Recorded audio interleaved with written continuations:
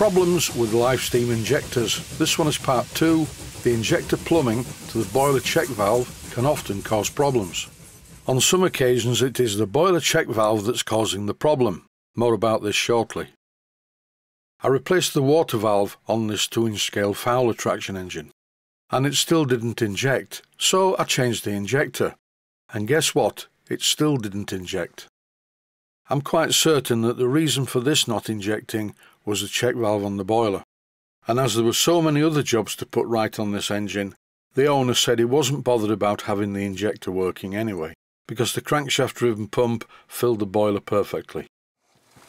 This is a clip when I first got the engine. It was the first steaming outside the workshop, and as you can see, it's not injecting properly.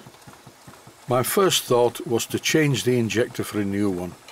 One of the first jobs I did on this engine was to fix the linkage to the water tap. As you can see here, it was all over the place.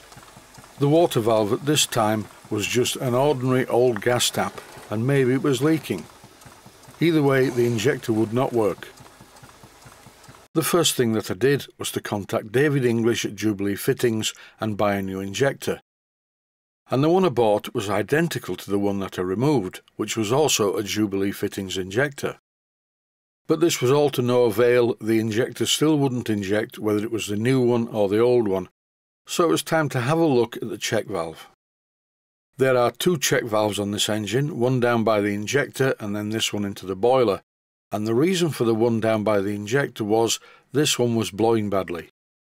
What I'm doing here is first of all removing the top cap, then I'm going to take the ball out and have a look at the seat. Basically, there are three potential areas of problems where injectors are concerned. One is the water feed, two is the piping and the check valve into the boiler, and three would be the injector itself, but by changing the injector, that is ruled out of the equation. Once I'd removed the top cap, I could see the ball inside the valve.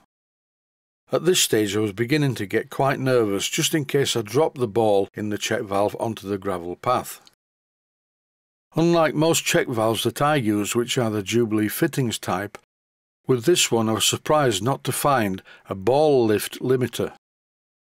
If the ball in the check valve, when it's forced off its seat, jumps up too high, it can actually block the hole into the boiler, if you see what I mean. Most ball valves have something just to stop the ball from coming too far off the seat. Usually this is machined as part of the cap, but not so in this case. Here I'm using an Allen key to push the ball out of the valve. And no, I didn't drop it on the path. I needed to remove this check valve for closer inspection, which meant I had to take off the motion guard. This traction engine has a copper boiler and all of the studs into the boiler are phosphor bronze. It's very well made.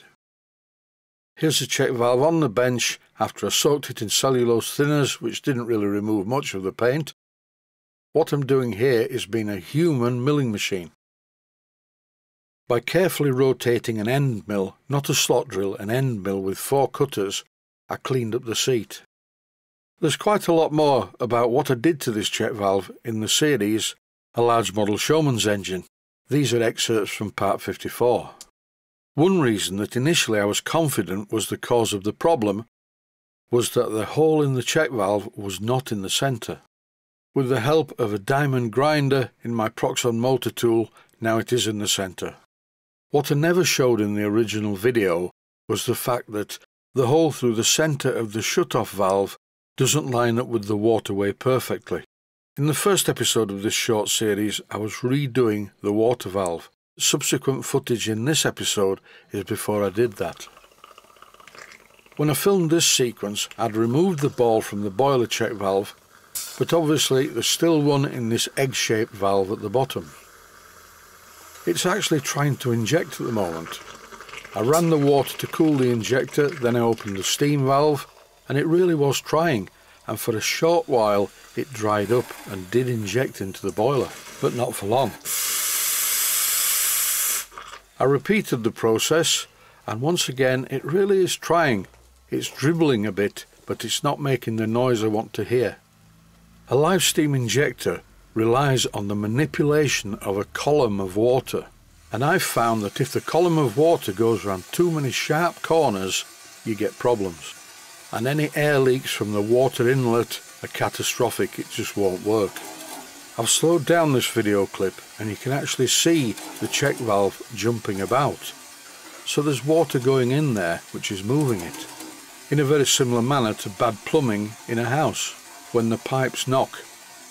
I'm going to remove the check valve from the boiler and line up the valve and see if that makes a difference. But that's it for now. Stay safe, stay healthy. Thanks for watching and I hope you found it useful. Please take the time to visit my Mainsteam Models website and click on the section of the website that says Video Playlists. And by doing that, you can find other videos that you may like to watch. And by using the playlists, you can actually watch the videos back to back.